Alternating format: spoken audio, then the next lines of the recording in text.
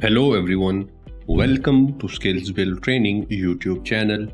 Myself Muhammad Zubair and this channel is all about showing you how to become an IT pro really fast. So the topic of today's video is .NET Core versus .NET Framework. What's the difference? So without any further ado, let's get started.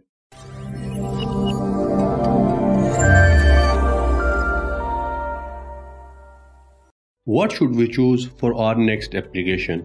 .NET Core or .NET Framework? That is the question which comes to mind while working on the .NET technology. Well, in today's video, we will answer that question. First of all, let's discuss the structure of both first here. So let's understand it. Earlier, we had .NET Core and .NET Framework separately and the difference was in the base class library. Both frameworks had their own base class library and by base class library we mean that all the arrays, string manipulations and the system input output operations were defined in it. And we use that in our classes or you can say in the code which we develop. Well, the problem occurs when someone tried to shift from one framework to the other. For example, you were working on .NET Core and you tried to shift your application to .NET Framework, it couldn't be possible because both had different base class libraries. Even Microsoft had to face this problem because whenever they had to develop a new platform, they had to create a new base class library for it. At the lower level, we have a base class library and above that we have app modules and in app modules we have a different things like in .NET framework we have Windows Form, ASP.NET and in .NET Core we have ASP.NET Core and we have UWP. To get rid of this problem in which we have different base class libraries, Microsoft introduced a new platform with the name of .NET Standard. It had the common base class libraries which could support the both .NET framework, like it was supporting the .NET framework and .NET Core at the same time. It also unified the whole base class library level and then it was made compulsory for every platform to adhere to this standard so that migration could be easier. If we talk about the .NET Standard Library, it is the set of APIs which all .NET platforms and implementations must follow or adhere to. So in any new .NET platform come in future, it should must follow it.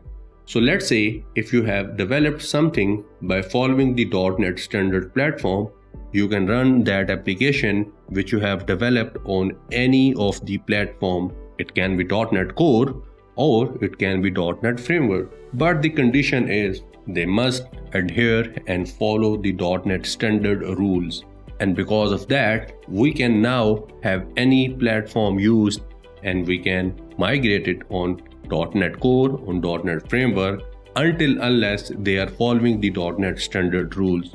And that was all about the .NET standard now I will talk about some feature and I will try to differentiate both platform on the base of those features. First one is open source. Well, in .NET Framework, we have only certain components which are open source. But in terms of .NET Core, it is completely open source. If we talk about the cross-platform support, in .NET Framework, it is compatible with the Windows operating system platform but in .NET Core, it works on the principle of build one and run anywhere. And it is compatible with many platforms like Windows, Mac, and Linux. Now, in terms of performance and stability, .NET Framework is less effective in terms of performance and stability as compared to the .NET Core. And .NET Core offers high performance and stability. Android development .NET Framework does not support the Android development or any mobile application development, but .NET Core, it is compatible with open source mobile application platforms, for example, Xamarin. So through the .NET Standard Library, developers use Xamarin's tool to configure the mobile app for specific mobile devices such as Android, iOS, and Windows. If we talk about the packaging and shipping, .NET Framework have all the libraries shipped together. In .NET Core, it gets shipped as collection of NuGet packages. Last but not the least feature which I'm going to talk about is development model. In .NET Framework, whenever the updated version gets released, it is first deployed on Internet Information Server. In .NET Core, when a new update gets initiated, it gets updated instantly on one machine at a time and thereby it gets the update in new directories or folders in the existing application without affecting it. And because of that, .NET Core has a good and flexible deployment model. So these were some of the features on the basis of which .NET Core and .NET Framework differentiate from each other. Now, if we talk about the environment or the ecosystem of both these platforms, then the .NET Framework supports the Windows and web application. We can use Windows Form, WPF and UWP to build Windows application in .NET Framework. And ASP.NET MVC framework is used to build web application in .NET Framework. But now we have some functionalities or you can say some updates through which we can work on mobile application as well in .NET Framework. Now, if we talk about the ecosystem of .NET Core, it is the open source and cross-platform framework that is used to build application for all operating systems including Linux, Windows and Mac. .NET Core framework supports the UWP and ASP.NET Core only. We use UWP to build the Windows 10 target and mobile applications and ASP.NET Core is being used to build a browser-based web application or web application in simple words. So that was all about the ecosystem and environment of both these platforms. Now I will open my Visual Studio and I will create a project for each platform. So stay with me. So here is my Visual Studio 2022 preview version and in here I will create two projects. So first of all, I will click on create a new project and here I will search for ASP.NET. So I will write here ASP.NET and down here I have all the options which are related to ASP.NET. But first of all, I'm going with ASP.NET web application in .NET framework platform and here it is. So I will click on it and now I will click on next and here I have to name my project.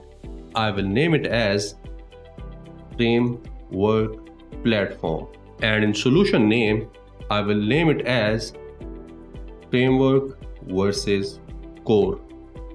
I will click on create now and here we have the .NET framework.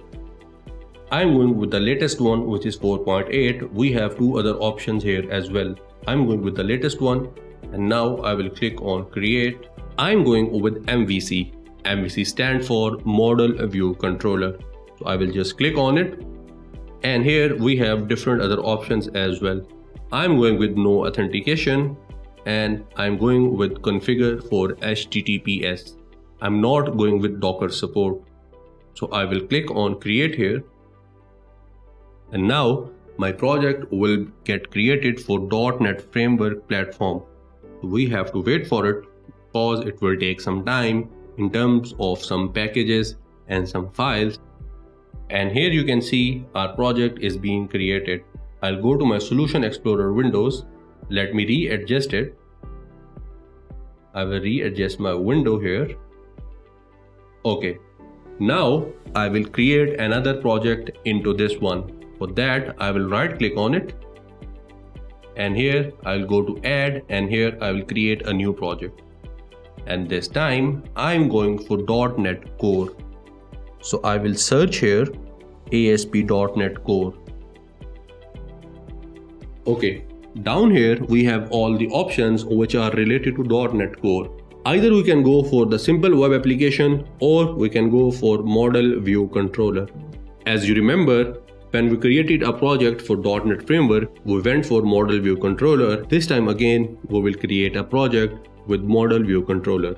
I will select this option and now I will click on next. Here we have to name our project. I'm going to name it as core application and again I will click on next here and here we have some other settings which we can do but I'm going with the default one as I do not want any authentication type and I'm going with HTTPS.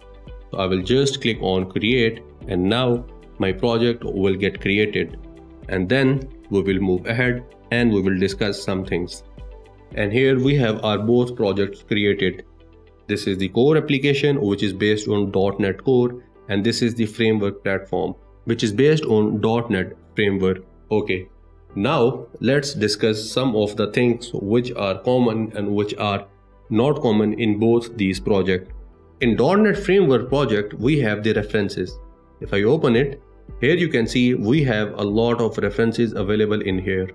But in .NET Core application, we do not have references, but we do have the dependencies.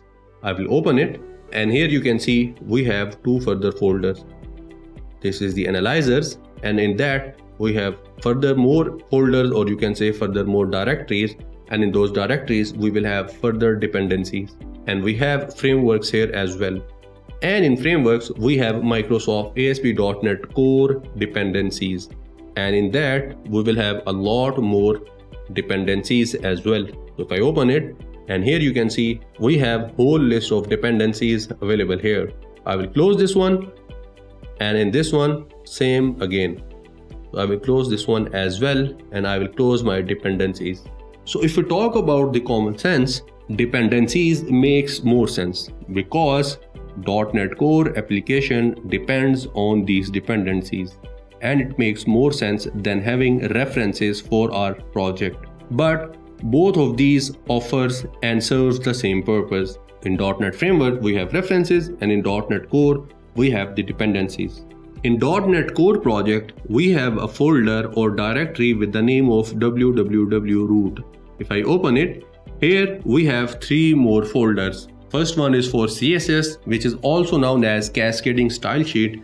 And then we have a folder for JavaScript. And then we have one more folder. Okay, these are all the static folder and all the static files will come into this folder, which is wwwroot and your HTML file can also come here. Icon for our application is also here which is under wwwroot. So if I close this one, now let's talk about .NET Framework. In .NET Framework, we do not have wwwroot directory, but we have our application icon in the main folder, which is right here. But in .NET Framework, we have several other folders here, like we have app data, app start then we have contents then we have fonts then we have scripts. And fonts is the static folder which could have come under the css folder. But we do not have css folder here so that is why it is here as a separate folder. So if we talk about the simplicity .NET Core is more simple and more easy to understand as we have less folder to go through and every folder makes sense as the name suggests. As you can see, we have app data, app start folder, but in .NET Core, we do not have these folder. So that is why we do not have to cop up with these folder, which are extras in .NET Framework project. So this is one of the reason that .NET Core is more preferred over .NET Framework. Now if I open my controllers folder in .NET Core project, here I have a file, so I will just open that file here it is. These are some of the libraries which are included by default and down here we have some methods and we have some other code here as well. Here we have index and privacy methods. So if I go into my view folder and if I go into my home folder, here you can see we have index and privacy file and here we have index and privacy methods available here. Now I will close this one. Now Let's go to the controller of our .NET Framework project. Here it is, I will open it and I will open this file. In this file, again, we have some methods. Now, if I go to my view and go to my home folder, and here you can see we have about contact and index file. And here you can see we have about contact and we have our index methods which are created here. So in terms of functionalities, both platform .NET Core and .NET Framework works and follow the same structure and same rules. There is not a lot of difference between these two in terms of implementation. So that was all about in terms of the Visual Studio. So I will close this one and now let's move ahead. So the question still remain there and that is what to choose between these two platforms. Should we go for .NET Framework or should we go with .NET Core? I have some points on the basis of which you can decide that which is the better one and which is the suitable for you and for your environment and for your application. If I talk about the .NET framework, it is a better choice if you do not have the time to learn and go for new technology. It is better choice if you are building Windows client application using WPF or Windows Form. And if you have nearer release schedule for the client, then you should go for the .NET framework. If you are already working on an existing application and you are extending its functionality, then .NET framework is the one for you. If you need production ready software, then .NET Framework is the choice. If you do not want to deal with the continuous changes and upgrades and you require and need a stable environment to work on, .NET Framework is the one for you. And last but not the least, if you already have an existing team with .NET expertise and you are building an application on it, then .NET Framework is the better choice for you. .NET Core is a better choice for you if you love open source and if you want to target your application on platforms like Windows, Linux and Mac and you like to learn new things and last but not the least you are not afraid of experimenting as .NET Core is not fully matured yet and we have less community support of .NET Core as compared to .NET Framework. Yes, we do have a big community support but as compared to .NET Framework, it is not yet there. So these were some of the factors on which you can decide